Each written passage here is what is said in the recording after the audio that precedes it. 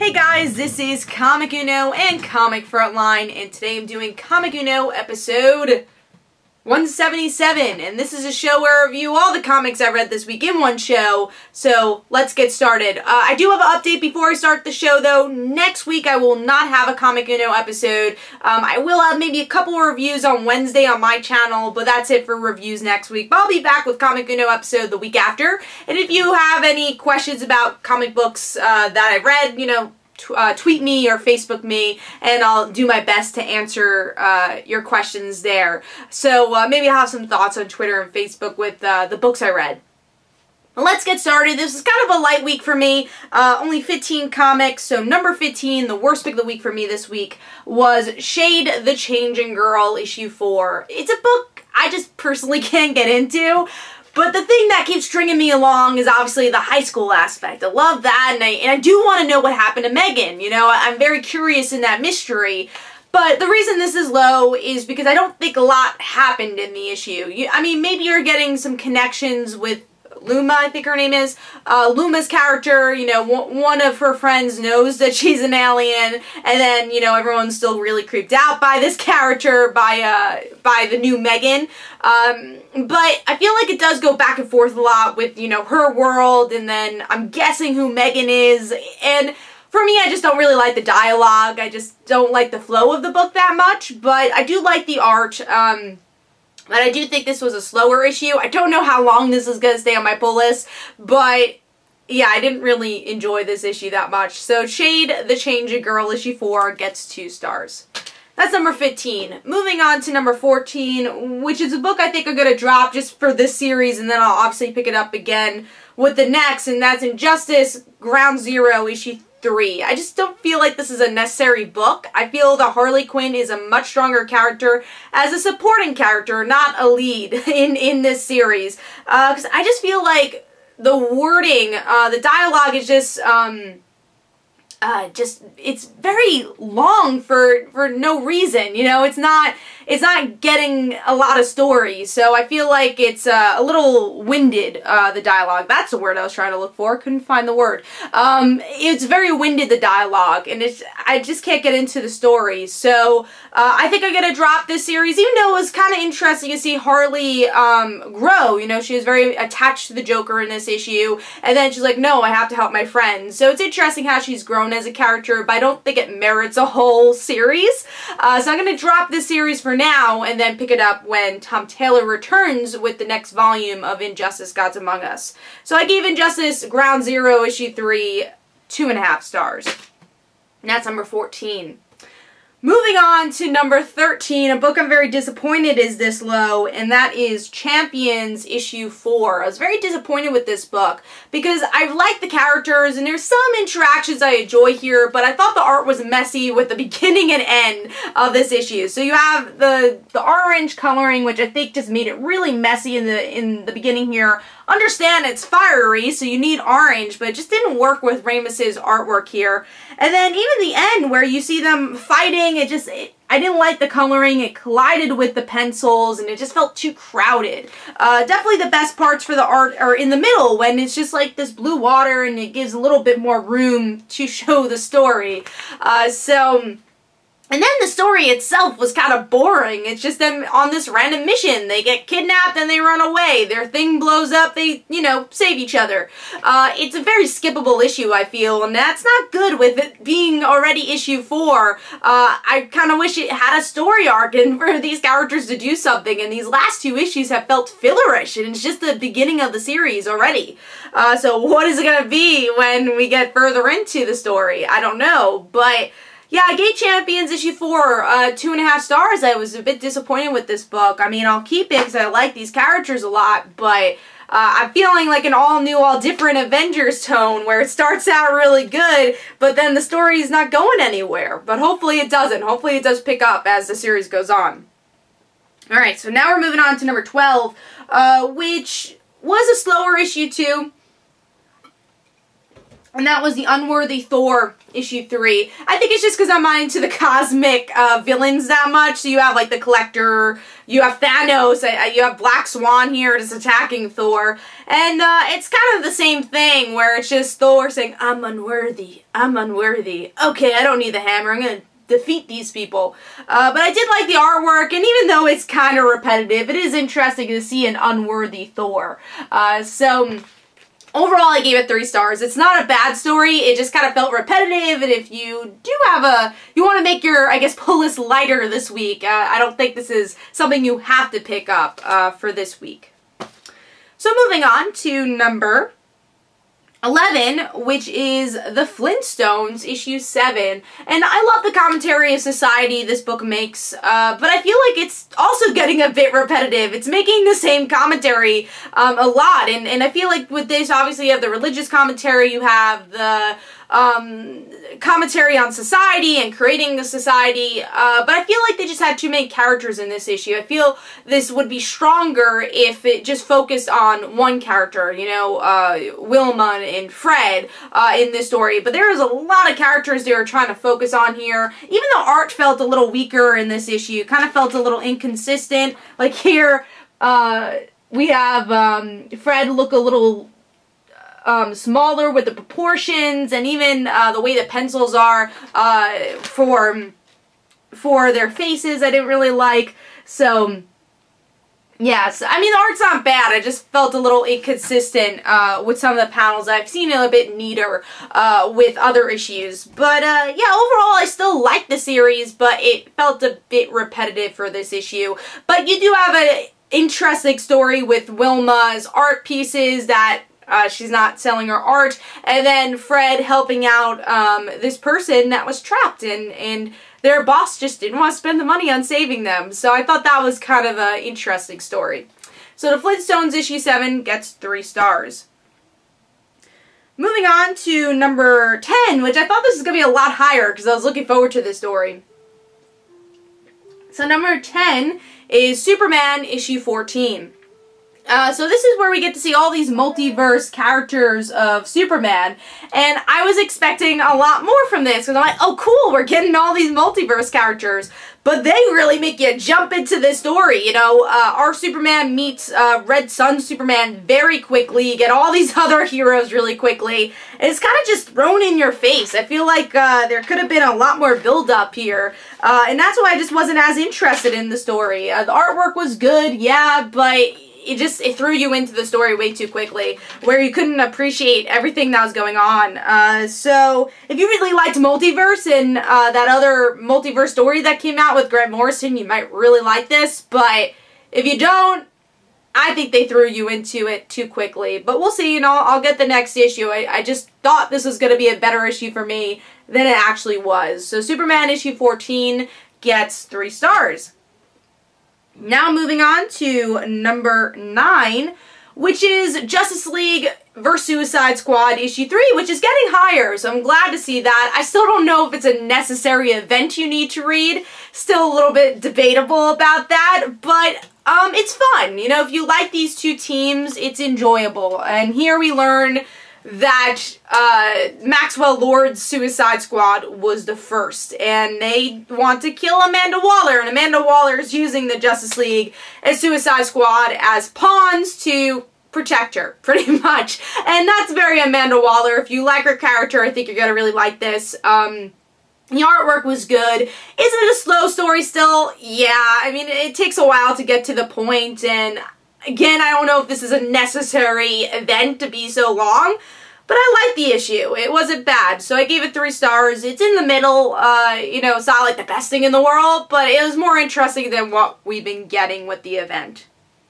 So now moving on to number 8, which is Nova issue 2, uh, which it was cool to see Richard Rider and Sam interact with each other a bit more. Um, definitely my favorite part being uh, the champions interacting with Richard Rider, just showing how much the Marvel Universe has changed. Uh, so even though I didn't like champions this week, this was a better champions issue than the actual champions this week. Uh, the artwork for me, though, still, uh, I like the coloring. Some of the facial expressions I think could be better. Uh, like even Richard Rider's helmet, I don't think really fits his face very well. And then some of the side profiles, I think their facial expressions are weird. So yeah, I think that could be better, but I'm getting used to it. I think it fits the style of the book. Uh, and then I love that they're bringing in Sam's heritage with his family. I kind of wish they did that in other Nova books too, uh, also, because it, it kind of feels like a weird uh, shift for uh, Sam's mother because she feels like a different character now. But it's still cool that they're bringing her her heritage in, or both their heritages in into the story. I think that's cool, but uh, I think they should have done that in the previous Nova stories too, because it feels like a big leap that they're kind of changing her character in a way. Um, so I want more of Sam's mother's personality. Um, we haven't really gotten that um, yet. Hopefully we get to see more of her. Uh, but yeah, Nova issue two. I, I didn't love the cliffhanger when they went to space this space bar and they run into people. I that I wasn't as interested in, but I like the friendship Sam and Richard Rider are making, and they definitely have a lot of fun parts of Sam talking about his uh, girlfriend, kind of, uh, him having his voice crack all the time, uh, so they have a fun dynamic, and I think this is an issue worth reading. So Nova issue 2 gets three and a half stars. So now I'm moving on to number seven, a book I was really surprised by because I usually don't get it, but I only got it because it was a tie-in, and that was Justice League issue 12. And I was surprised, uh, yeah, issue 12. Um, I was surprised with this issue because it's an origin story pretty much of Maxwell Lord in the New 52 and you learn about her, eh, learn about his mother and exactly why he wants to go against Amanda Waller. And I thought it was a really cool story. I think they gave him a good personality uh, if you don't know much about his character. And if you do, I, I think they get his personality right. And the artwork was really good for the story, so I'll give it three and a half stars. I actually think it's worth picking up. And I kind of wish this issue came out before Just League vs. Suicide Squad, because you'll get even more from that event if you know more about this version of Maxwell Lord. Alright, so now we're moving on to number six?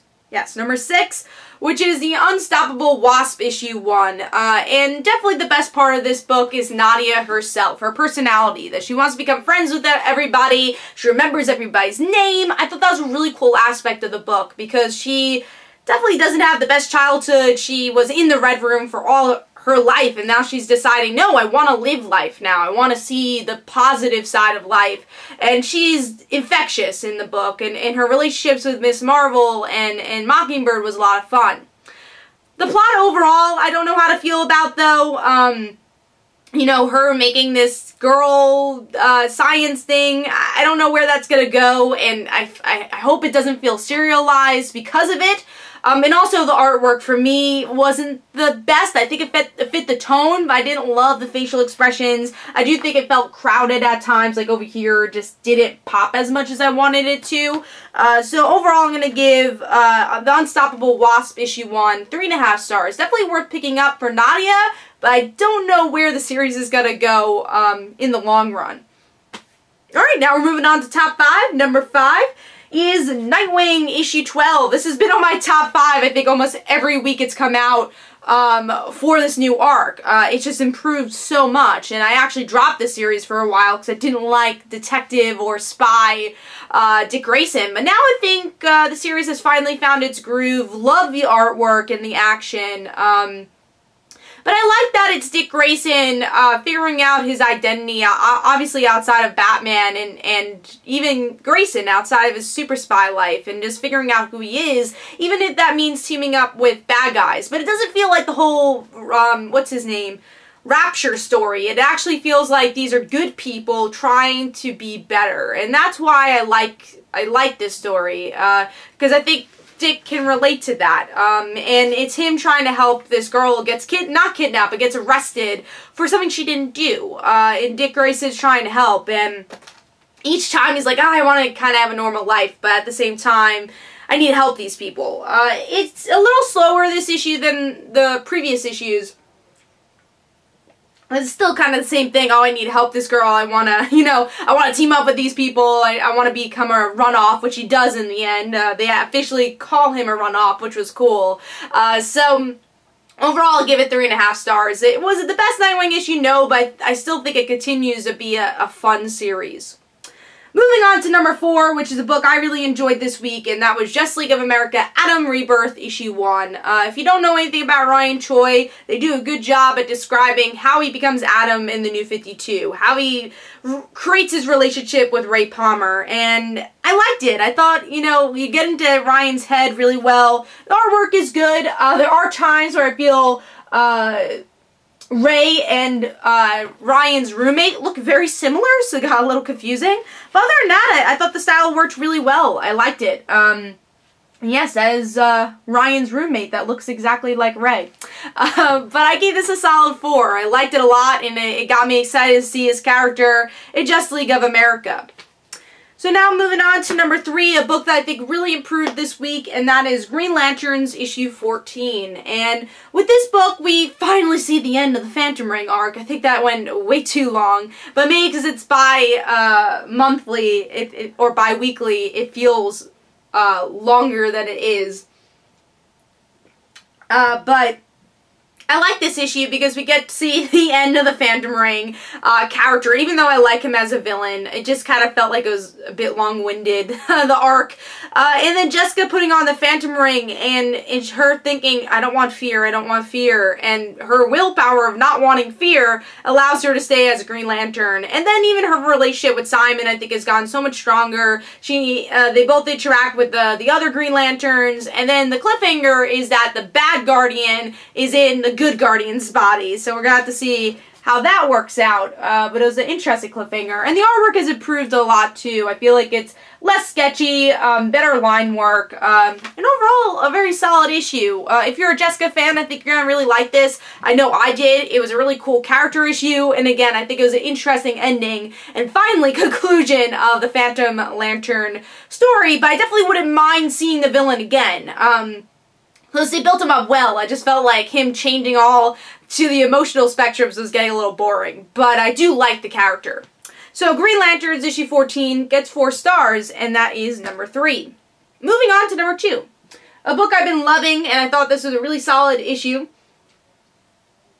And that is Hawkeye issue 2. Um, very solid issue of uh, Kate trying to figure out more uh, about these mysterious people who have been targeting um, her client, and her client's been missing this whole issue. She doesn't really question that as much in this issue, but she goes into the organization finding more about them, uh, and they're brainwashed. So it's definitely more than just a stalker. Uh, it's this whole cult, and then Hawkeye definitely gets herself into a situation by the end, and she's like, oh no, I don't know what to do. Uh, you know, we'll see how Kate gets out of that. But once again, I think uh, Kelly Thompson does a great job at Kate's personality, making it really fun. And then the artwork, I love how Kate looks at sur her surroundings. This panel is so cool. Uh, and this, again, just using her surroundings and, and utilizing that everyone thinks she's the underdog, but she always proves herself in the end. So Hawkeye issue 2, once again, just a really fun issue, and I can't wait to see where the series goes. I do believe this could be one of my favorite series of 2017 if it continues to, to be this good. So now moving on to number one, my pick of the week this week was Batman issue 14. I thought this was a really well done kind of love letter to Catwoman and Batman, where they spend the night together, they do the things they feel obliged to do, steal, help people, fight villains, uh, but then in the end, they're together, and, and that's all they ever wanted, even though they probably know it's not right to be together because they don't work together, but at the same time they do. Uh, and this is Catwoman wanting to spend her last night um, as a free person and she's okay with going away if, if she has this one night. It was really poetic. Um, do I think this is a slower issue? Yes. I still think that the story needs to pick up a bit because um, the last arc was a bit slow, but I, I think the artwork was really well done. It, it showcased Catwoman and Batman really well Um, I kind of like the angles too, where it's always focusing on the sky more, which, you know, some people might think, oh, you know, why is it not focusing on the people? It definitely focuses on the diamonds in the sky, um, which I really liked. I like the, the, the angles that they choose in this book. Um, this is another great example of the angles. Uh, so overall, I gave this four and a half stars. Really enjoyed the issue. Also like the Holly Robinson uh, little reference. Maybe we'll see Holly again. Who knows? She's the pre up pre New 52 Catwoman. Um, so hopefully we would see her again in the New 52 type uh, storyline. Uh, but yeah, I gave Batwoman, I mean Batman issue 14 uh, four and a half stars, and that's my pick of the week. So hopefully you guys enjoy uh, enjoyed. Let me know in the comments below what you thought. What was your worst pick of the week and best pick of the week and everything in between.